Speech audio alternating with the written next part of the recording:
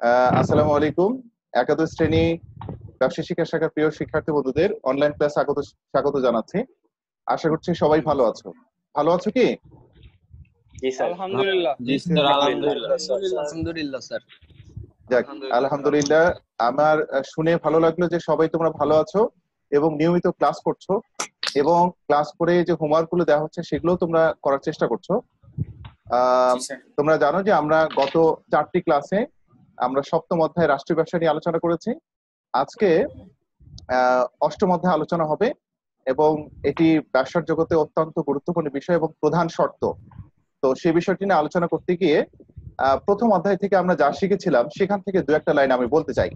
সেটা হচ্ছে, প্রথম অধ্যায় ছিল ব্যবসায়, ব্যবসায়ের পরিচিতি, তাই না? বা ব্যবসায় বলতে কি বোঝায়? ব্যবসার অর্থ কি? এগুলো আমরা দেখেছিলাম। সেখানেই বলতে গিয়ে আমরা দি- বলেছিলাম যে বিজনেস এর বাংলা অর্থ হচ্ছে কর্মে ব্যস্ত থাকা। তো যে কর্মে ব্যস্ত থেকে আমরা অর্থ উপার্জন করি বা অর্থ উপার্জন করার জন্য বা মুনাফা অর্জনের জন্য যে ব্যস্ততার মধ্যে থাকি আমরা, যে কাজ করি সেটার নামই হচ্ছে ব্যবসায়। তবে ব্যবসার কিছু শর্ত রয়েছে যে ব্যবসার মধ্যে কি থাকতে হবে, মুনাফা অর্জনের উদ্দেশ্য থাকতে হবে, আইনগত বৈধতা থাকতে হবে আর্থিক লেনদেন থাকতে হবে, তাই না? এরকম কিছু আমরা শর্তের কথা বলেছিলাম। তো বলছে যে, বৈধভাবে মুনাফা অর্জনের উদ্দেশ্যে যে কোনো অর্থনৈতিক কর্মকাণ্ড নিয়োজিত থাকাকেই বলা হয় ব্যবসায় ঠিক তাই না? তো ব্যবসা করতে চাইলে তোমাকে অবশ্যই মুনাফা অর্জনের উদ্দেশ্য থাকতে হবে প্লাস আইনগত বৈধতা থাকতে হবে। তার মানে তুমি ইন ফিউচারে যখন তুমি ব্যবসা করবে, অথবা কেউ কেউ হয়তো ব্যবসা জড়িত থাকতে পারো, তাদের এই ব্যবসাটাকে কাজকর্মকে ব্যবসা বলব কিনা, তার জন্য আমরা দেখতে হবে যে এটার আইনগত বৈধতা আছে কিনা। তো ব্যবসা হিসেবে আইনগত বৈধতার বিষয়গুলো নিয়েই অষ্টম অধ্যায়ে আলোচনা করা হয়েছে যে ব্যবসার আইনগত দিক। ব্যবসার আইনগত দিক, অর্থাৎ তুমি ব্যবসা করতে চাইলে কোন কোন আইন তোমাকে মেনে চলতে হবে, আইনের আইন এবং বিধিমালা মেনে চলতে হবে, সে সংক্রান্ত আলোচনা আমাদের, আহ, অষ্টম অধ্যায়। তাহলে কি কি আইন মেনে চলবো সেই বিষয় নিয়ে আলোচনা করতে গিয়ে আজকে যেভাবে লেকচারটি সাজানো হয়েছে আমরা শেয়ারিং এ একটু দেখতে চাই। এই অধ্যায় থেকে আমরা আহ, কি কি শিখব? সেটা একটু দেখবার বিষয়।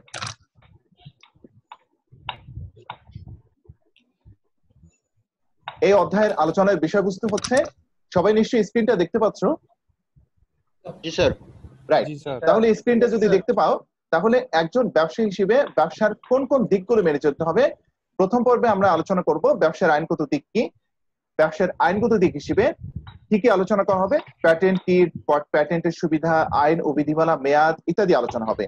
এরপরে দ্বিতীয় পর্বে আলোচনা হবে যেটা হচ্ছে ট্রেডমার্ক কি ট্রেডমার্কের সুবিধা, আইন, বিধিমালা, মেয়াদ কপিরাইট কি কপিরাইটের বৈশিষ্ট্য, আইন, বিধিমালা, মেয়াদ কপিরাইট ভঙ্গের পরিণতি। আমরা দুটি লেকচারে দ্বিতীয় লেকচারে এটা আলোচনা করব। এবং তৃতীয় লেকচার আলোচনা হবে বিমা কি, বিমার গুরুত্ব, পরিবেশ দূষণ কি, ব্যবসার প্রতিষ্ঠান কর্তৃক পরিবেশ দূষণ কীভাবে হয়, আর বাংলাদেশের মান নিয়ন্ত্রণকারী প্রতিষ্ঠান, একমাত্র মান নিয়ন্ত্রণকারী প্রতিষ্ঠান হচ্ছে বিএসটিআই এবং আন্তর্জাতিক মান নিয়ন্ত্রণকারী প্রতিষ্ঠান হচ্ছে আইএসও। এর পুনরূপ এবং বিএসটি কি কাজ করে সেগুলো আমরা জানব। তাহলে চলো আমরা প্রথম লেকচারে যেটা আলোচনা করার কথা সেই পর্যায়ে চলে যাই। কি আছে?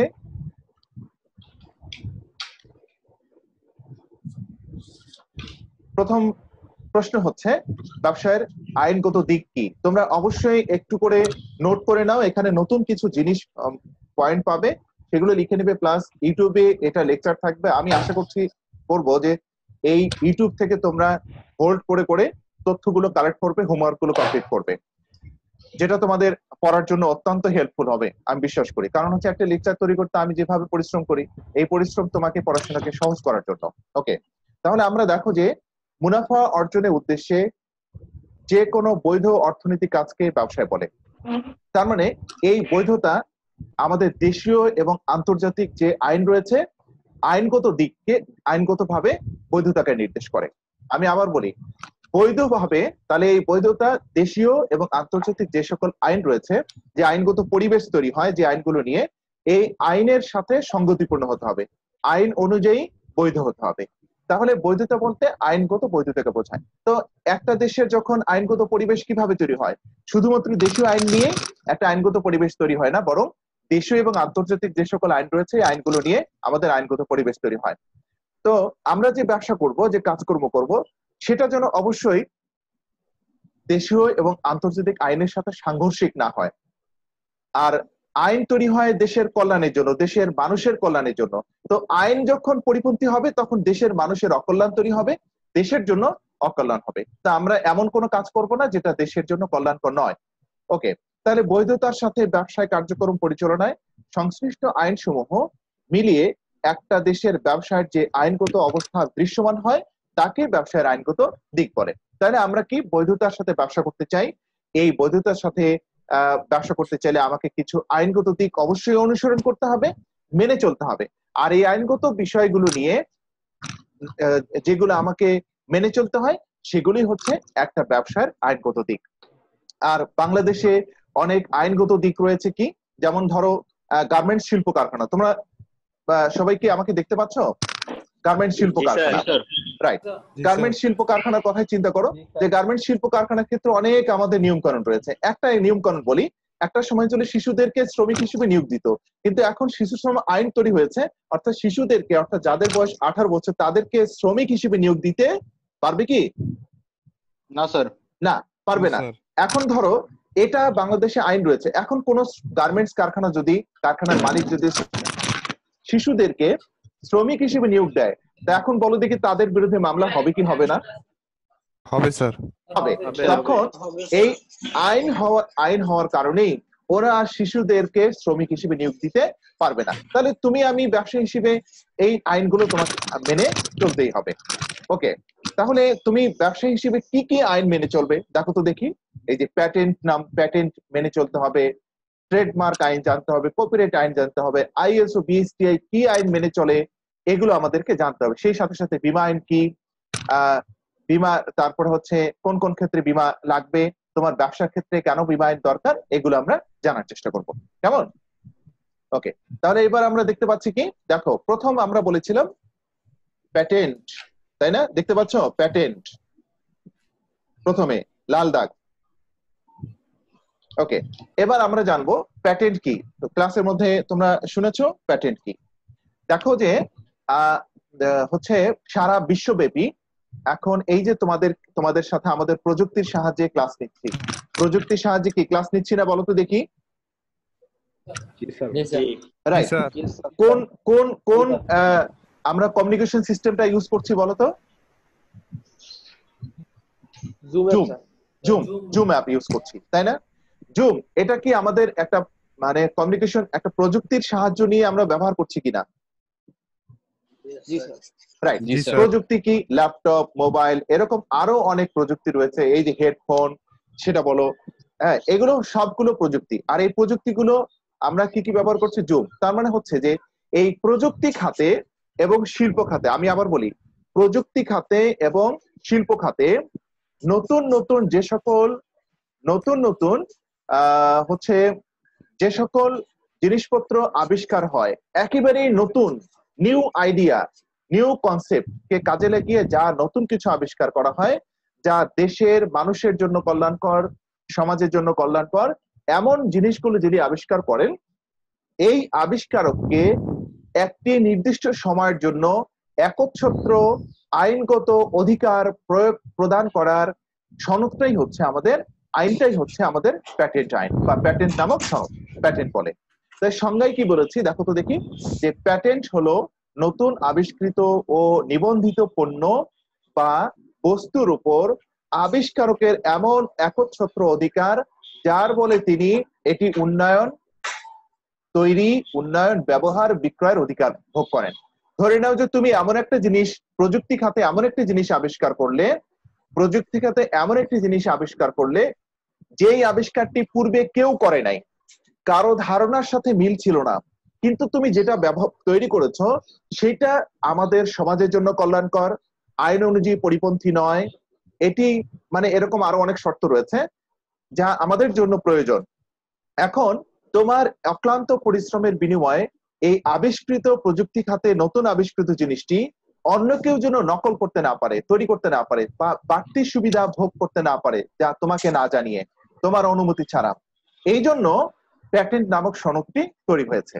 এই সনদটি যদি তুমি আবিষ্কারক হিসেবে পাও রেজিস্ট্রেশন পাও, তাহলে তুমি কি করতে পার- করতে পারবে? এককভাবে একচ্ছত্র ভাবে তৈরি, উন্নয়ন, ব্যবহার এবং বিক্রয়ের একক অধিকার ভোগ করবে। বিক্রয়ের একক অধিকার ভোগ করবে। তো এখন কি করবে? যদি যেটা জিনিস আবিষ্কার হলো, এই সুযোগ সুবিধা পেতে চাইলে এই সুযোগ সুবিধা পেতে চাইলে তোমার নিকটস্থ যে প্যাটেন্ট অফিস রয়েছে, এটি সরকারি অফিস এগুলো। প্যাটেন্ট অফিস রয়েছে। এই প্যাটেন্ট অফিসে গিয়ে তোমাকে কি করতে হবে? নিয়ম অনুযায়ী আবেদন করতে হবে, প্রমাণিতি দিতে হবে এবং পরে এই প্যাটেন্ট সনদটি অর্জন করতে হবে। যখন তুমি প্যাটেন্ট সনদ অর্জন করতে করবে, ডান পাশে দেখতে পাচ্ছ একটা সিল আছে। দেখতে পাচ্ছ কি? দেখতে পাচ্ছ? জি স্যার। জি Right. হ্যাঁ এই প্যাটেন্ট নামক এই সনদটি এরকম একটা সিল দিয়ে দিবে। যখনই এই সিলটা দিবে তখন আইন অনুযায়ী তুমি এটার মালিক কেউ এর বাড়তি সুবিধা পাবে না তোমার অনুমতি ছাড়া। এখন তুমি কোথায় এটা রেজিস্ট্রেশন করবে? দেখো বাংলাদেশের আহ, শিল্প মন্ত্রণালয়ের অধীন বাংলাদেশের শিল্প মন্ত্রণালয়ের অধীন। কেন শিল্প মন্ত্রণালয়ের অধীন হয়েছে? কারণ হচ্ছে প্রযুক্তি এবং শিল্পের উন্নয়নের জন্য শিল্প খাতে উন্নয়নের জন্য। দেখো প্রযুক্তি এবং শিল্পের উন্নয়নের জন্য এই প্যাটেন্ট নামক সনদটি দরকার হয়। গণপ্রজাতন্ত্রী বাংলাদেশ সরকারের শিল্প মন্ত্রণালয়ের নিয়ন্ত্রণাধীন প্যাটেন্ট অফিস এবং ট্রেডমার্ক রেজিস্ট্রেশন রেজিস্ট্রি অফিস এই দুটি একীভূত করে দুই হাজার তিন সালে একটা অধিদপ্তর করা হয়। একই অফিসে একটা অধিদপ্তর করা হয়, বিভাগ করা হয়, যেখানে এই প্যাটেন্ট নামক কার্যক্রম পরিচালিত হচ্ছে এবং সেখানে নিবন্ধন করতে হয়। ঠিক আছে তো? কি কি আছে অধিদপ্তরের নাম কি? প্যাটেন্ট ডিজাইন ও ট্রেডমার্ক অধিদপ্তর। এটি মতিঝিলে অবস্থিত হেড অফিস হেড অফিস কোথায় অবস্থিত বলো তো দেখি? মতিঝিল। মতিঝিল। মতিঝিলে অবস্থিত। তাহলে এখন বলো দেখি প্যাটেন্টের হ্যাঁ প্যাটেন্ট কোন মন্ত্রণালয়ের অধীন? শিল্প মন্ত্রণালয়। রাইট শিল্প মন্ত্রণালয়ের অধীন। তোমার আবিষ্কারটি যদি পূর্বের কোনো ধারণার সাথে না মিলে সম্পূর্ণ নতুন ক্রিয়েটিভ হয় দেশের মানুষের জন্য কল্যাণকর হয়, আইন অনুযায়ী নিষিদ্ধ না হয়, তাহলে প্যাটেন্ট নামক অফিসটি এরকম একটা সিল দিবে, যে সিলটি তোমরা দেখতে পাচ্ছ, এটা দিলে তুমি কি কি সুযোগ সুবিধা পাবে, তৈরি করতে পারবে, উন্নয়ন করতে পারবে, ব্যবহার করতে পারবে, বিক্রয়ের অধিকার ভোগ করতে পারবে।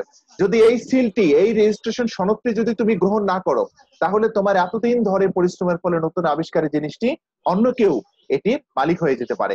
এই সকল সুযোগ সুবিধা ভোগ করবে। কি কি করতে পারবে?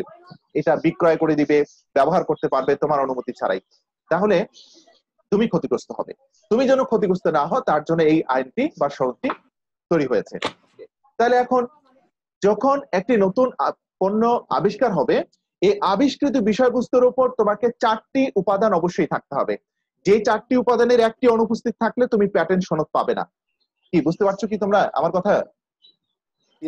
জি স্যার তোমাকে নতুন একটি জিনিস যেটা আবিষ্কার তুমি করেছ যেটার জন্য তুমি প্যাটেন্ট পেতে চাও সেই আবিষ্কৃত বিষয়বস্তুর বিষয়বস্তুটির মধ্যে অবশ্যই চারটি উপাদান থাকতে হবে। লিখেছি কোন আবিষ্কারককে প্যাটেন্ট সনদ পাওয়ার উপযোগী হতে চাইলে চারটি উপাদান থাকা আবশ্যক। কি কি চারটি উপাদান থাকা আবশ্যক দেখো তো দেখি।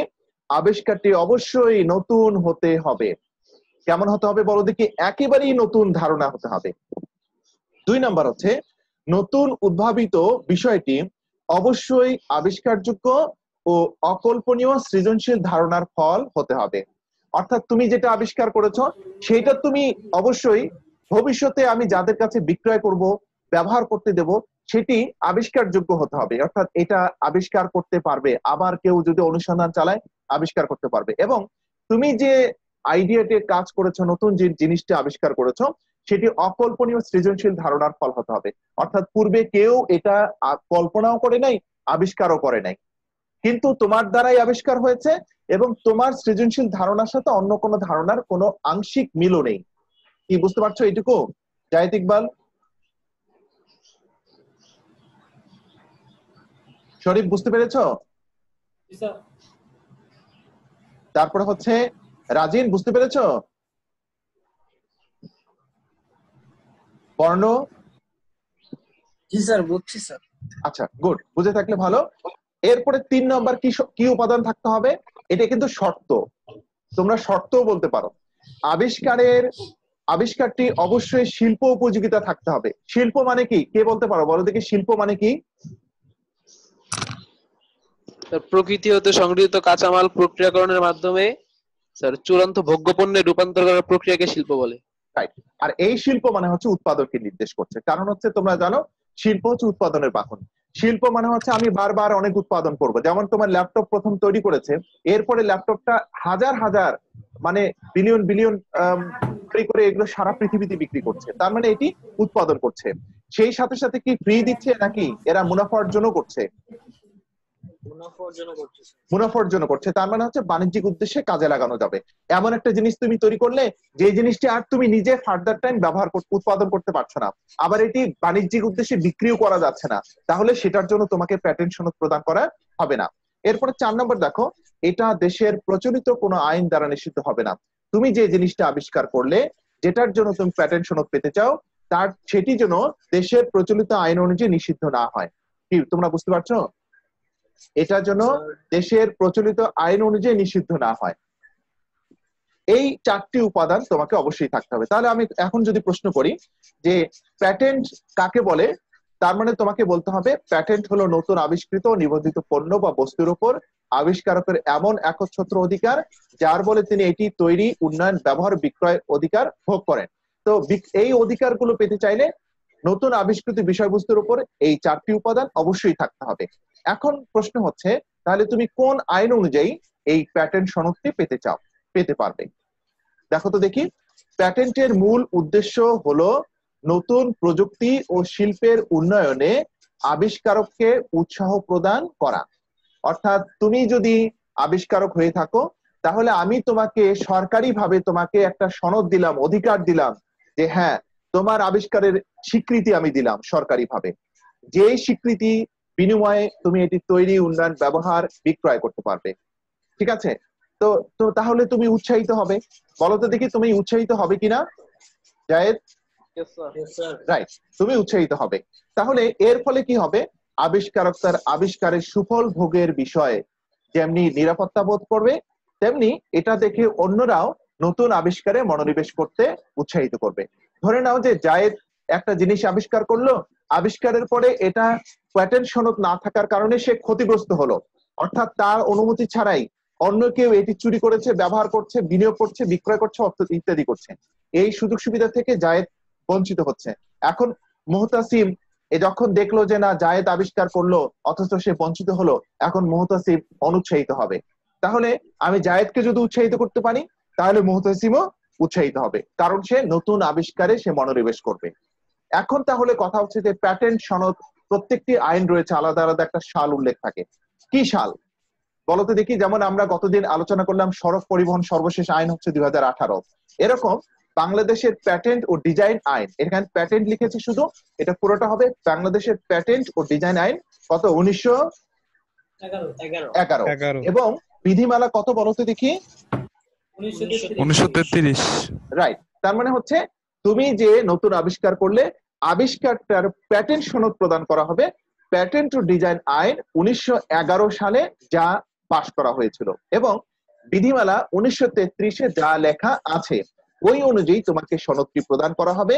আর এই আইনের বলেই তুমি একজন নতুন আবিষ্কারক হিসেবে তোমাকে স্বীকৃতি প্রদান করা হলো, যার বিনিময়ে তুমি এই এটি তৈরি করতে পারবে, উন্নয়ন করতে পারবে, ব্যবহার করতে পারবে চাইলে বিক্রয় করতে পারবে।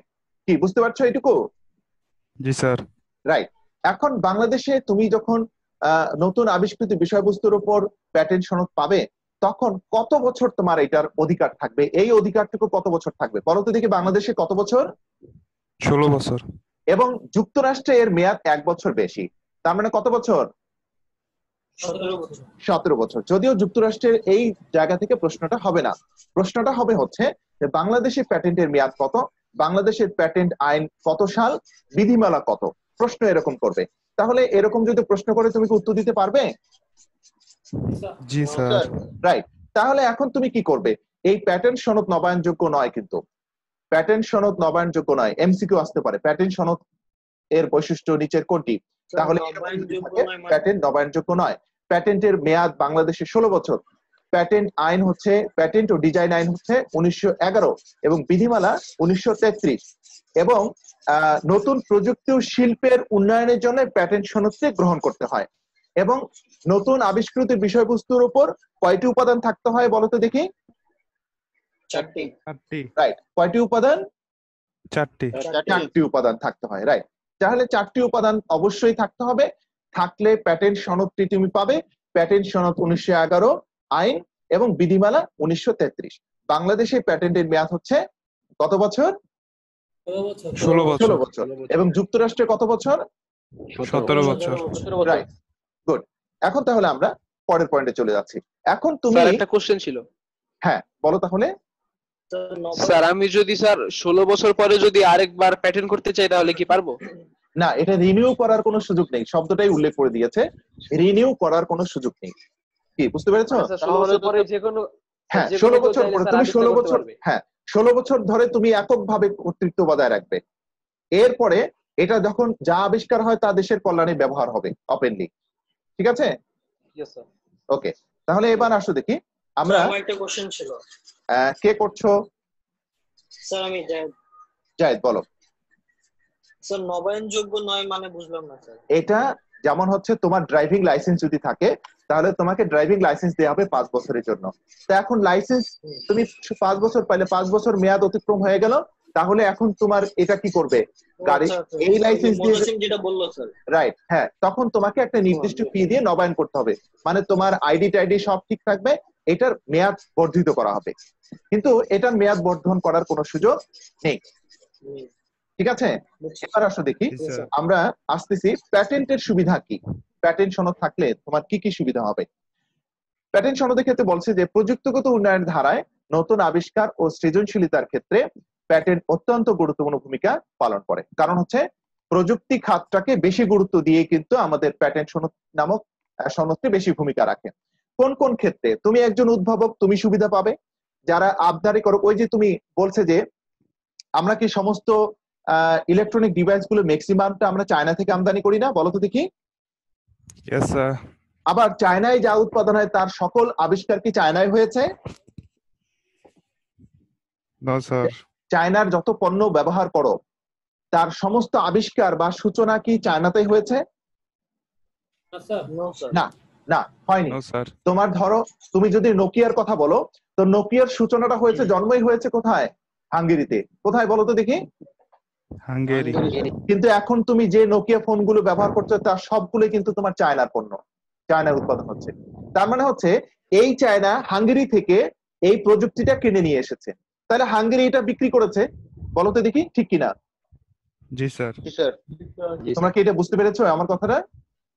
ইয়েস স্যার স্যার ইয়েস যার মানে হচ্ছে চায়না চায়নার কাছে হাঙ্গেরি এটা বিক্রি করেছে যার কারণে চায়না উৎপাদন করে আজকে সারা পৃথিবীতে ওরা মানে অর্থনীতিতে সাম্রাজ্য বিরাজ মানে বজায় রাখছে। তো এখন কি হচ্ছে? উদ্ভাবকের সুবিধা আমদানি করের সুবিধা মেইনলি দুই সুবিধা। এক নম্বর, দুই নম্বর এবং চার নম্বর। খেয়াল করো, উদ্ভাবকের সুবিধা কি? একজন উদ্ভাবক যখন প্যাটেন্ট নামক সনদটি পাবেন, তখন প্যাটেন্টের এই সনদের আইনগত বৈধতার কারণে তিনি এককভাবে কি করতে পারবেন? এটি তৈরি, উন্নয়ন, ব্যবহার, বিক্রয় করতে পারবেন। কাউকে কারও কাছে বিক্রয় করে দিতে পারবেন। হাঙ্গেরি বিক্রয় করে দিয়েছে চায়নার কাছে। বাংলাদেশে নতুন একটি আবিষ্কার এখন আমরা চায়নার কাছে বিক্রি করে দেবো অথবা চায়নার উৎপাদিত পণ্য আমার বাংলাদেশে বিক্রি করে দেবে। কি ঠিক কিনা? এরকম কিনা? জি স্যার। ঠিক স্যার। রাইট এটা কার কাছে থাকবে? যার যার যে প্যাটেন্ট নামক সনদটি পাবে সেই এই সুবিধা পাবে। তা আবিষ্কারকই প্যাটেন্ট নামক সনদটি পাওয়ার কথা। তাহলে সে এই এই উদ্ভাবকগুলো পাবে। এখন তাকে দেখে নতুন উদ্ভাবকগুলো তারা উৎসাহিত হবে। এক নম্বর পয়েন্ট দুই নম্বর হচ্ছে আমদানিকারকদের সুবিধা। যারা আমদানি আমদানিকারক থাকবেন আচ্ছা হ্যাঁ উদ্ভাবকের সুবিধার ক্ষেত্রে আরেকটি পয়েন্ট বলি। তখন এই প্যাটেন্ট সনদটি প্যাটেন্ট অফিস থেকে সংগ্রহ করতে হয়। যখন একটি প্যাটেন্ট অফিস যাকে এই সনদটি প্রদান করবে, তার হয়ে প্যাটেন্ট সনদটি প্রচারণা চালাবে। কি, বুঝতে পারছ? তখন প্যাটেন্ট অফিস যখন প্যাটেন্ট সনদ গ্রহণকারীর হয়ে হচ্ছে প্রচারণা চালায়, তখন যার হয়ে প্রচারণা চালাচ্ছে, তারই তো এটা সুবিধা হবে। নাকি? বলো তো দেখি। জি স্যার। জি হ্যাঁ এটাই হলো বিষয়। এরপরে আমদানিকারকদের সুবিধা কি? যে যারা আমদানিকারক থাকবে তারা যখন দেখবে যিনি আবিষ্কার করেছেন তিনি প্যাটেন্ট এবং সনদটি পেয়েছেন অর্থাৎ তিনিই একমাত্র এটার কর্তৃত্বের অধিকারী। সুতরাং তার কাছ থেকে যখন আমি পণ্যটা ক্রয় করে নিয়ে আসব তার মানে বৈধতা আছে। এখানে বৈধভাবে আমি পণ্যটি ক্রয় করে নিয়ে আসব। ভবিষ্যতে অন্য একজন ব্যক্তি বা প্রতিষ্ঠান আমি যে পণ্যগুলো বিক্রয় করে, করছি আমার বিরুদ্ধে কোনো মামলাও করবে না বা কোনো অভিযোগ দায় করবে না। তাহলে আমদানিকারকরা বলতো দেখি, উদ্ভাবকের, সরাসরি উদ্ভাবকের কাছ থেকে যদি পণ্যগুলো ক্রয় করে নিয়ে আসে, তাহলে আমদানিকারকরা হচ্ছে স্বাচ্ছন্দ্য ফিল করবে নাকি একটু কনফিউশনে থাকবে যে আমার বিরুদ্ধে মামলা হতে পারে? কোনটা? বলো তো দেখি। শরীফ স্যার আরেকবার বলে ভালো হয় স্যার কোশ্চেন আচ্ছা। দুটো আরেকবার বলুন। ধরে নাও। ফিল করবে স্যার স্বাচ্ছন্দ্য ফিল করবে। রাইট নিশ্চয়ই স্বাচ্ছন্দ্য ফিল করবে। ধরে নাও উদ্ভাবক হচ্ছে মিস্টার এক্স এখন মিস্টার ওয়াই হচ্ছে এক্সের কাছ থেকে ক্রয় করে নিয়ে এসেছে। তাহলে ওয়াই তো জানে যে এক্স এটা সনদ প্রাপ্ত প্যাটেন্ট নামক সনদ পেয়েছে। সুতরাং ওয়াই কি করবে? যদি এক্সের কাছ থেকে পণ্য ক্রয় করে নিয়ে আসে তাহলে ওয়াই কনফার্ম থাকবে যে আমি মূল মালিকের কাছ থেকে পণ্যটি ক্রয় করে নিয়ে এসেছি। তাহলে অন্য কোনো ব্যক্তি আমার বিরুদ্ধে মামলা করবে না যেহেতু আমি এখন বিক্রয় করছি। ঠিক কিনা বলো তো দেখি। তাহলে এখন আমদানিকারক এটার আমদানিকারক তখন স্বাচ্ছন্দ্য স্বাচ্ছন্দ্য বোধ করবে? ঠিক কিনা? অবশ্যই রাইট হ্যাঁ। যখন মেইন সোর্স থেকে আনা হবে তখন তৃতীয় অন্য কোনো ব্যক্তি ফায়দা হাসিলের জন্য আমার বিরুদ্ধে মামলা করবে না। দাবি করবে না হ্যাঁ আমার পণ্য কেন সে বিক্রি করছে? কিন্তু আমি যে বিক্রি করছি, আমি তো মেইন অথরিটির কাছ থেকে নিয়ে এসেছি। সনদপ্রাপ্ত ব্যক্তির কাছ থেকে নিয়ে এসেছি। সুতরাং এই জায়গায় আমদানিকারকের সুবিধা হবে। অন্যান্যদের সুবিধা কি? এর সাথে জড়িত যারা রয়েছে, তারা সুবিধা পাবে। এরপরে রাষ্ট্রের সুবিধা কি? দেখো, নতুন যা আবিষ্কার হয়, তা দেশের কল্যাণে একটা সময় ব্যবহার হবে। অর্থাৎ ষোলো বছর পরে তোমরা জানো যে মুক্তভাবে এটি যে কেউ ব্যবহার, বিনিয়োগ করতে পারবে। আচ্ছা তাহলে যখন সনদধারী মানে মেইন আবিষ্কারক সনদ পাবে অন্য নতুন আবিষ্কারকরা নতুন নতুন জিনিস আবিষ্কার করবেন। তখন দেশে যখন আবিষ্কারকের সংখ্যা অনেক বেশি হবে, তখন দেশের আবিষ্কারের দিক থেকে একটা সমৃদ্ধি আসবে। যদি নতুন নতুন আবিষ্কার হয়, সমৃদ্ধি আসা মানে হচ্ছে দেশের মানুষের কল্যাণ করা, কল্যাণ হওয়া, আবার হচ্ছে দেশের জনগণের কল্যাণ হওয়া, রাষ্ট্রের কল্যাণ হওয়া। তাহলে এই দিক থেকে রাষ্ট্রের সুবিধা রয়েছে। রাষ্ট্র সুবিধা ভোগ করবে। কি, তোমরা কি এই জায়গাটাতে কারও কোনো প্রশ্ন আছে? বলো তো দেখি। না, স্যার। আচ্ছা আমি কিন্তু কিছু প্রশ্ন করব। শেষে আজকে কিছু প্রশ্ন করব। তোমরা সেই প্রশ্নগুলো উত্তর দেওয়ার জন্য রেডি থাকবে। ওকে তাহলে আমরা এবার কিছু প্রশ্ন করতে চাই। দেখো তোমাকে করতে হবে কি কয়েকটি বাড়ির কাজ দেওয়া হয়েছে। তোমরা এই প্রশ্নগুলোর উত্তর আমাকে দিবে। আমি ভেতর থেকে কিছু প্রশ্ন করতে চাই। সেটা হচ্ছে আহ, কে বলতে পারবে? ব্যবসার আইনগত দিক কাকে বলে? আহ আকিব সুলতান প্রথম বলে। আর ধারাবাহিক ভাই বল ধরবো। স্যার বলেন স্যার হ্যাঁ বলো। ব্যবসার আইনগত দিক কাকে বলে? স্যার বৈধভাবে ব্যবসায়িক কার্যকলাপ পরিচালনা করার জন্য দেশীয় ও আন্তর্জাতিক যে সকল নিয়ম সঠিকভাবে পালন করা হয় সে পালন করে ব্যবসা পরিচয় করা হয় সেগুলোকে ব্যবসা আইনগত দিক বলে। রাইট যে বলবে সে অবশ্যই আহ, হচ্ছে ভিডিও অন করে বলবে। আচ্ছা এখন বলো দেখি। আহ, আকিব সুলতানই বলো যে আমাদের কোন কোন আইনগুলো আইনগত দিক আমাদের জানতে হবে। স্যার আমাদেরকে হলো স্যার প্যাটার্ন ট্রেডমার্ক এবং কপিরাইট সম্পর্কে জানতে হবে। প্যাটেন্ট স্যার হ্যাঁ প্যাটেন্ট ট্রেডমার্ক কপিরাইট হ্যাঁ বিএসটিআই বিএসটিআই বিএসটিআই হ্যাঁ বিএসটি নিয়ে আইএসও ইত্যাদি আমাকে জানতে হয়। যেমন তুমি যদি অংশীদারি ব্যবসা করো তো অংশীদারি ব্যবসার উনিশশো বত্রিশ জানতে হবে। কোম্পানি ব্যবসায় যদি সদস্য হতে চাও অথবা কোম্পানি প্রতিষ্ঠা করতে চাও তাহলে তোমার কোম্পানি আইন উনিশশো চুরানব্বই জানতে হবে। ঠিক একইভাবে যদি সমবায় সমিতি প্রতিষ্ঠা করতে চাও তাহলে সমবায় সমিতি আইন কত? দুই হাজার এক বিধিমালা দুই হাজার চার। তোমাকে জানতে হবে। এরকম অসংখ্য আইন রয়েছে। তারপরে গার্মেন্ট শিল্প প্রতিষ্ঠান স্থাপন করতে চাও তাহলে গার্মেন্ট শিল্প প্রতিষ্ঠান ক্ষেত্রে শিশু শ্রম আইন তোমাকে জানতে হবে। সেই সাথে সাথে পরিবেশ আইন জানতে হবে। এই সেই সাথে সাথে তুমি বৈদেশিক আমদানি রপ্তানি করতে চাও তাহলে বৈদেশিক আমদানি রপ্তানির কি কি আইন রয়েছে? এরপরে তুমি বৈদেশিক আমদানি রপ্তানির ক্ষেত্রে অনেক ঝুঁকি রয়েছে। ঝুঁকি মোকাবেলা করার জন্য তোমাকে কি করতে হবে? বিমা করতে হবে। ঠিক কিনা? বলো তো দেখি। হ্যাঁ তাহলে বিমা আইন জানতে হবে। এরকম আইনগত দিকগুলো তোমাকে জানতে হবে। ওকে এরপরে নেক্সট হচ্ছে শরীফ বলবে। প্যাটেন্ট কাকে বলে? একটু বলো। ভুল হলে অসুবিধা নাই। শরীফ। পেটেন্ট হলো নতুন আবিষ্কৃত নিবন্ধিত পণ্য বা বস্তুর উপরে হ্যাঁ। আবিষ্কারকের একচ্ছত্র অধিকার। অধিকার অধিকার রাইট এরপর হচ্ছে আহ, জায়েদ বলো জায়েদ সবাইকে কিন্তু ধরার চেষ্টা করছি। জায়েদ বলো হচ্ছে বাংলাদেশের বাংলাদেশের প্যাটেন্ট ও ডিজাইন আইন কত? বাংলাদেশের পেটেন্ট ও ডিজাইন উনিশশো এগারো আর বিধিমালা এই পর্যন্তই। ওকে রাজিন আসিফ রাজিন আসিফ রাজিন আসিফ বলো তো দেখি। প্যাটেন্টের বিধিমালা কত? স্যার কি স্যার আবার প্যাটেন্ট বিধিমালা কত? ওকে পাবি বলো। বিধিমালা মানে কি স্যার আইন। স্যার এগারো। আইন একটা হ্যাঁ হ্যাঁ আইন হচ্ছে আইন একটা, এগারো আর বিধিমালা। একটা। তেত্রিশ স্যার। বলো। ওকে। পাবি বলো পাবি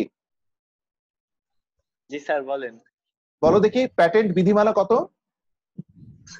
স্যার উনিশশো তেত্রিশ। আচ্ছা এবার ইয়াসিন ইয়াসিন জামান বলো। ইয়াসিন জামান। ঠিক আছে না আমারটা? জি জি ঠিক আছে। ইয়াসিন জামান বলো বাংলাদেশের প্যাটেন্টের মেয়াদ কত? স্যার ষোলো বছর। ষোলো বছর ওকে। তোমরা ভিডিওটা অন করে আমি উত্তর দিতে বলেছি। ওকে রাফিদ শেখ জি স্যার। রাফিদ শেখ বলো যুক্তরাষ্ট্রের প্যাটেন্টের মেয়াদ কত? সতেরো বছর। ওকে সাদমান। সাদমান সাদমান হক। স্যার।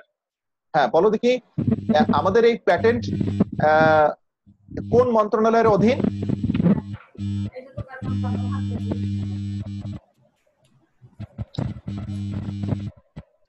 সোহেল তাওসিফ বলো। কোন মন্ত্রণালয়ের অধীন?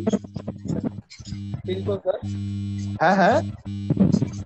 শিল্প মন্ত্রণালয় হ্যাঁ গুড শিল্প মন্ত্রণালয়। মিউট করো যার সমস্যা হচ্ছে। কার কার জানি স্যার যে হ্যাঁ, হ্যাঁ, হ্যাঁ। জি জি ঠিক আছে। ওকে তাহলে এখন আসো দেখি। এরপরে আহ, ইয়াসিন জামানকে ধরেছি ফামিকে ধরেছি শরীফকে ধরেছি। এরপরে হচ্ছে মোহতাসিম মোহতাসিম উদ্দিন বলো দেখি প্যাটেন্ট নামক সনদটি যদি থাকে কার কার সুবিধা হবে? উৎপাদকের সুবিধা। আমদানিকারীর সুবিধা অন্যান্য সুবিধা আর রাষ্ট্রীয় সুবিধা মানে সরকারের আচ্ছা। সুবিধা। এবার বলো দেখি উদ্ভাবকের কোন কোন সুবিধা সে পাবে? উদ্ভাবক হিসেবে কোন কোন সুবিধা পাবে? স্যার প্রথমত স্যার একচ্ছত্র অধিকার পাবে। হ্যাঁ হ্যাঁ। একচ্ছত্র অধিকার স্যার পাবে। প্যাটেন্ট ডিপিডিটি স্যার তার পক্ষে এটা প্রচারণা করবে। এদিকে স্যার একটা প্রচারণার সুবিধা পাবে। আচ্ছা আচ্ছা গুড তারপরে এককভাবে সে এটা তৈরি উন্নয়ন ব্যবহার বিক্রয় বিক্রয় জি স্যার হ্যাঁ একক কর্তৃত্ব ভোগ করতে পারবে। রাইট এটা হলো আমরা দেখলাম তাহলে প্যাটেন্ট কাকে বলে বাংলাদেশের আইন ব্যবসার আইনগত দিকগুলো কি কি? আমরা এই অধ্যায়ে আলোচনা করব প্যাটেন্ট ট্রেডমার্ক কপিরাইট সেই সাথে বীমা দেখব আইএসও বিএসটিএ দেখব। বর্ণ বলতে চাচ্ছেন স্যার একটা। হ্যাঁ বর্ণ বলো। বর্ণ কিছু বলবে? সবাই ভিডিওগুলো অন করো। আচ্ছা। আচ্ছা এবার ঠিক আছে বর্ণকে একটা সহজ প্রশ্ন করি সেটা হচ্ছে বাংলাদেশের প্যাটেন্ট ও ডিজাইন আইন কত?